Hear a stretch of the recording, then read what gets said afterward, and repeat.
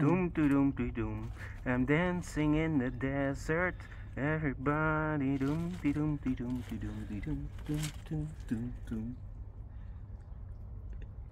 Hey, hello? You there? Look at this. A new line of Delosperma. Yes! This is Delosperma. You wouldn't expect that, right? So, what's so special about this? Do I need to explain it? Or you just see it? Of course. The new Delosperma Desert Dancers. They're bred by Koichiro Nishikawa from Florsica and he bred this entire new way of Delosperma. In spring it emerges with vibrant pink foliage that turns into dark red purple in summertime. The flowers are sterile and it's an ongoing flowering season all summer long.